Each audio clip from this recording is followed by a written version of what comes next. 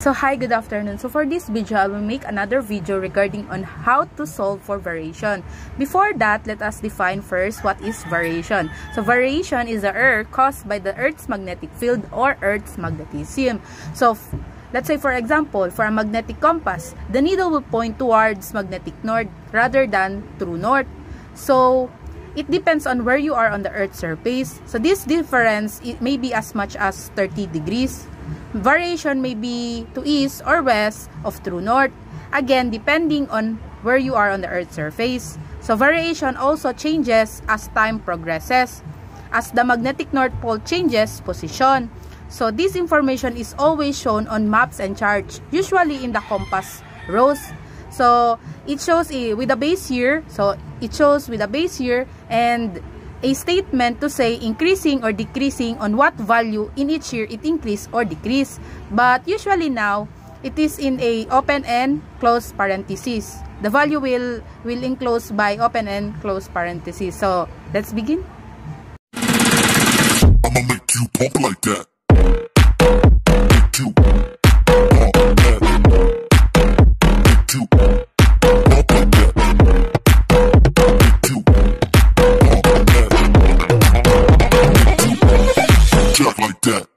how to compute for variation? I just print a copy of compass rose from the internet because I don't have nautical chart here.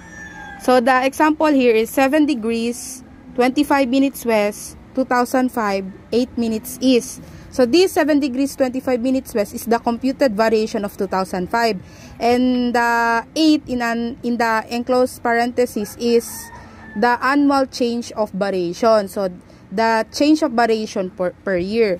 So I just write the the given here in the notebook for clearer view. 7 degrees 25 minutes west 2005 8 minutes east.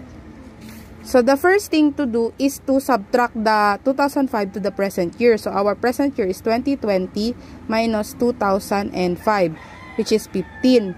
And the 8 minutes is the annual change of variation. Convert it into degrees. So, in 1 degrees, there are 60 minutes. So, 8 divided by 60. 0 0.13. So, 0 0.13 degrees. Don't forget the is. So, is. Then, you multiply it to the 15.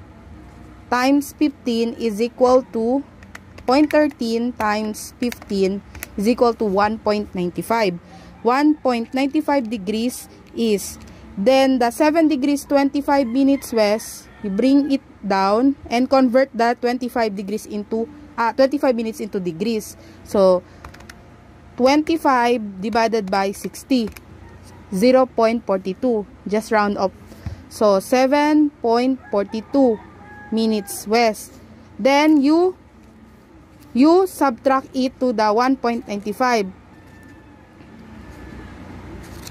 oops degrees. So degrees is so why subtract? You subtract because they have different name if they have the, the same name which is west west or east east you add but this time it they have different name so you subtract 7.42 minus 0. Point, ah, mean 7.42 minus 1.95. So 5.47. 5.47 degrees west. Why west? Because take the higher value. So 7.42 is higher than 1.95. So take the name of the higher value which is the 7.42 which is west. So you take it as west. So this is your variation of 2000, your present variation, which is 2020. So that's it. Thank you.